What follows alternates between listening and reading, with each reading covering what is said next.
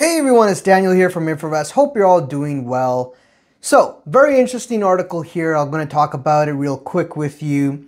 It says bankruptcy filing skyrocket as economist warns of further defaults. So the default rates are rising. They continue to rise at record high levels, especially when you get the US Federal Reserve continuing to hike rates and hike rates and hike rates.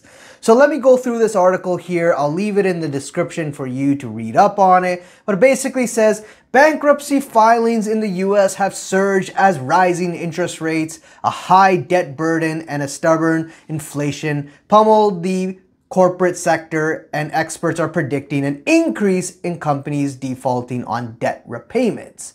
Again, right? There's got to be some sort of event, some sort of effect Right now, it's a it, you know you tend to see this rates and the and the effects of rates tend to be lagging. We tend to see it later on, the effects of it. Right, we have yet to see the effects of also 5% interest rates on the economy, but you're starting to see more of the sounds of bankruptcies and defaults happening in the economy. So here it says Chapter 11 bankruptcy filings soared by 68% in the US in the first half of the year compared to 2022, according to data shared by um, Equip, Epiq Bankruptcy.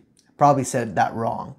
But a provider of US bankruptcy filing data on Monday. Recent data from S&P Global Market Intelligence show that the number of US companies that have gone bankrupt between January and May is higher than in the first five months of any year since 2010. So you can see the level of bankruptcies, right? You heard about the Silicon Valley. You also heard other companies out there as, as well, like Bed Bath Beyond, right? All feeling the pinch of higher debt payments. And that's what's expected when you get higher rates. Now, at the same time, you're still seeing the economy still kind of normal, right? And you still people, you still see people spending money, going to concerts, booking hotels, flying and whatnot, and, and going on vacations, right? One argument you can make is that the amount of money printing and pumping that has been done in 2020, 2021, that's still having lasting effects.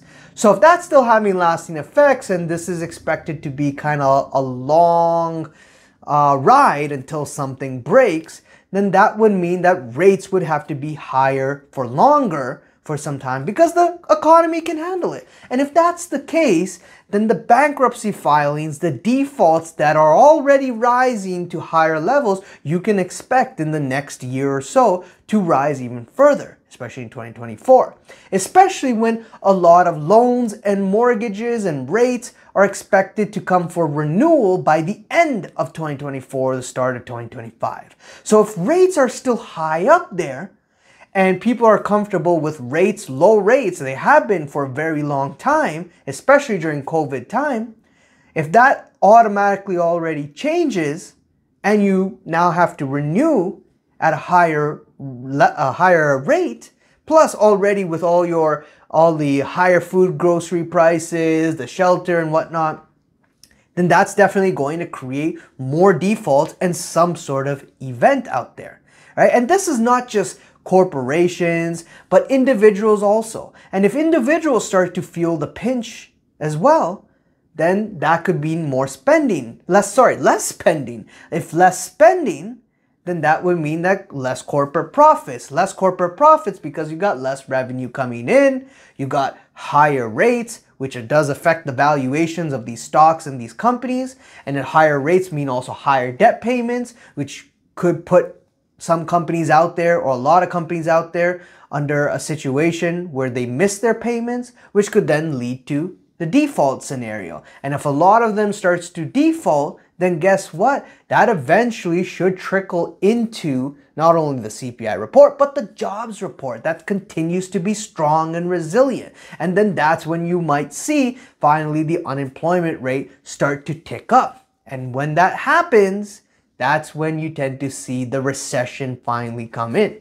So let me know what you guys think. Leave a comment below, subscribe, hit the like button, and bell icon to be notified on the next video. It's very interesting. We should continue to monitor these bankruptcy filings and see if they get worse off or not. See you guys. Cheers. Bye.